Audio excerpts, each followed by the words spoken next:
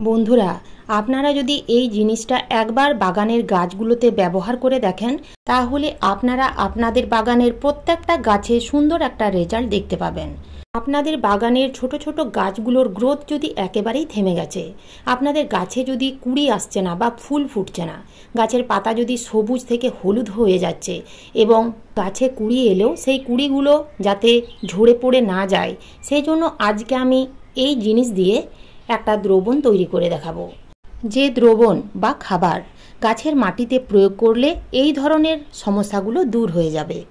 এই জিনিসটা গাছের মাটিতে একবার ব্যবহার করেই দেখুন। নমস্কার বন্ধুরা, আমি সোনালি আর আপনারা দেখছেন সোনালিস গার্ডেন। আমার হাতে এখন যে জিনিসটা আপনারা দেখতে পাচ্ছেন, এটা হচ্ছে পেঁয়াজ। এই পেঁয়াজ আমাদের সকলের রান্নাঘরেই পাওয়া যায়। আপনারা অনেকেই কমেন্ট করে জানতে চেয়েছিলেন। আপনাদের লঙ্কা গাছে ফুল আসছে, কিন্তু সেই ফুলগুলো ঝরে পড়ে যাচ্ছে। বেলি, টগর, এই সকল ফুল গাছে ফুল ফুটছে না। অ্যালামন্ডা গাছের গ্রোথ একেবারেই থেমে গেছে।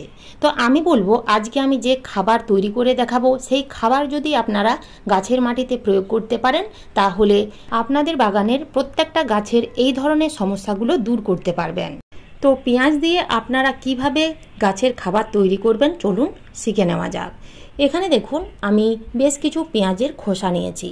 বন্ধুরা, আমাদের প্রত্যেকের বাড়িতেই তো পেঁয়াজের খোসা ফেলেই দিই। পেঁয়াজের খোসা ফেলে দেবেন না। কেননা, আমাদের মতো যারা টবের মধ্যে গাছ বসান কিংবা গাছের পরিচর্যা করেন, সেই গাছ থেকে প্রচুর পরিমাণের ফুল বা ফল পাওয়ার জন্য এবং একটা কুড়িও যাতে ঝরে না পড়ে যায়, তার জন্য কিন্তু প্রচুর পরিমাণের গাছের পটাশিয়াম এবং ফসফরাসের প্রয়োজন পড়ে। পটাশিয়াম এবং ফসফরাসের অভাবে গাছের বৃদ্ধি থেমে যায়, গাছে ফুল আসা বন্ধ হয়ে যায় এবং গাছে বিভিন্ন ধরনের সমস্যা কিন্তু দেখা দেয়। আবার কখনো কখনো লক্ষ্য করে দেখবেন, জবা গাছের পাতাগুলো ছোট হয়ে এইভাবে কুকড়ে যাচ্ছে। তো এই সমস্যাগুলো দূর করতে পেঁয়াজের খোসা অত্যন্ত গুরুত্বপূর্ণ। পেঁয়াজের খোসায় পটাশিয়াম, ফসফরাস তো থাকেই। এই দুটো উপাদান ছাড়াও রয়েছে calcium, magnesium, copper, zinc, iron, সালফারের মতো উপাদান। আর নিতে হবে পাকা কলার খোসা। পাকা কলার খোসা আপনারা শুকিয়েও নিতে পারেন কিংবা এরকমও নিতে পারেন। পাকা কলার খোসার মধ্যে থাকে প্রচুর পরিমাণের পটাশিয়াম, যা গাছে ফুল, ফল আনতে এবং ধরে রাখতে সাহায্য করে। খাবারটা তৈরি করার জন্য এখানে আমি দেখুন দেড় লিটার জল নিয়েছি। এক থেকে দেড় মুঠো কিংবা চার থেকে পাঁচটা পেঁয়াজের খোসা নিতে হবে। আপনারা পেঁয়াজের খোসার সাথে রসুনের খোসাও দিতে পারেন, কোনো অসুবিধে হবে না। এরপরে পাকা কলার খোসা নিতে হবে চার থেকে পাঁচটা। আপনারা এখানে দেখতেই পাচ্ছেন, পেঁয়াজের খোসা দিলাম, তার উপরে কিন্তু পাকা কলার খোসাগুলো দিয়ে দিলাম। এরপরে যে আর একটা জিনিস নিতে হবে, তা হলো চা পাতা। গাছের মাটিতে চা পাতা দিলে দুটো উপকার পাওয়া যায়। এক, নাইট্রোজেনের মাত্রা বেশি থাকে আর দুই ট্যানিক অ্যাসিড থাকে। চা পাতা গাছের মাটিতে দিলে মাটিকে অ্যাসিডিক করে তুলতে পারে। মাটি অ্যাসিডিক না থাকার ফলে গাছের যে সমস্যাগুলো হয়, সেই সমস্যাগুলো দূর হয়ে যাবে। এই চা পাতা কিন্তু ব্যবহার করা নয়। বাজার থেকে কেনা র চা পাতা। তো এখানে দেখুন, আমি এক চামচ চা পাতা দিয়ে দিলাম এবং প্রত্যেকটা উপকরণ খুব ভালোভাবে মিশিয়ে মোটামুটি তিন থেকে চার ঘণ্টার জন্য ছায়াযুক্ত স্থানে রেখে দিতে হবে। তিন থেকে চার ঘণ্টার মধ্যে জৈব খাবার তৈরি হয়ে যাবে।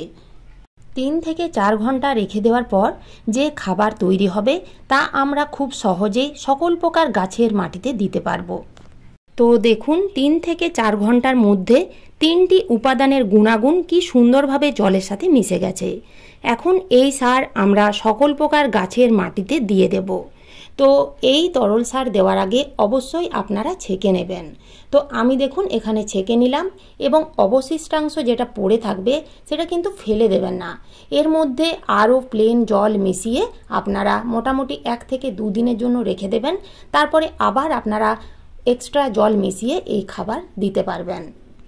এই তরল সারের মধ্যে আমরা কোনো রকম এক্সট্রা জল মেশাবো না।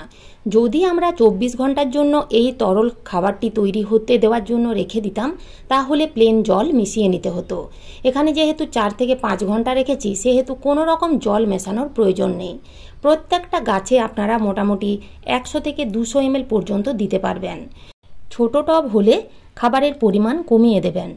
বেশি বেশি করে খাবার প্রয়োগ করবেন না। তাতে ভালো ফল হবে না। এখানে আপনারা দেখতেই পাচ্ছেন, ছোট্ট একটা লঙ্কা গাছে লঙ্কা ফলেছে এবং প্রচুর ফুল এসেছে। এই ফুলগুলো যাতে ঝরে না যায় এবং ফলন যাতে ভালো হয়, সেই জন্য আমরা লঙ্কা গাছেও এই খাবার দিতে পারব। এই খাবার আপনারা সকল প্রকার ফুল, ফল, সবজি গাছে দিতে পারবেন। এখানে আপনারা দেখুন, ছোট্ট ছোট্ট দুটো জবা গাছ কাটিং থেকেই বড় করেছিলাম এবং গাছের গ্রোথ দেখুন খুব সুন্দর হয়েছে। এই গাছের মাটিতেও আমরা এই খাবার দিয়ে দিতে পারব। তো পরিমাণ কিন্তু কম দেবেন। আপনারা দেখতেই পাচ্ছেন, গাছের সাইজ একেবারেই ছোট। তাই খাবার আপনাদের পরিমাণ মতো দিতে হবে। এই খাবার আপনারা পনেরো দিন অন্তর অর্থাৎ মাসে দুবার প্রয়োগ করতে পারবেন। এখানে দেখুন, আমি অ্যালামন্ডা গাছের মাটিতেও দিয়ে দিচ্ছি। তো অবশ্যই আপনারা যখন টবে খাবার প্রয়োগ করবেন, আগাছা থাকলে সেই আগাছা আগে তুলে নেবেন এবং মাটিটা একটু খুশে নেবেন। তারপরে এই খাবার আপনারা প্রয়োগ করবেন। এই খাবার প্রয়োগ করার কিছুদিনের মধ্যেই খুব ভালো একটা রেজাল্ট আপনারা কিন্তু দেখতে পাবেন। এই খাবার টবের মাটিতে দিলে মাটিতে থাকা বিভিন্ন ধরনের পোকামাকড়ও দূর হয়ে যাবে। যেহেতু পেঁয়াজের খোসার মধ্যে সালফার থাকে, সালফার থাকার দরুন মাটিতে থাকা পোকামাকড় কিন্তু দূর হয়ে যাবে। তো এই ছিল আজকের আমার এই ভিডিও। ভিডিওটি ভালো লাগলে একটা লাইক অবশ্যই দেবেন। কমেন্ট করতে ভুলবেন না।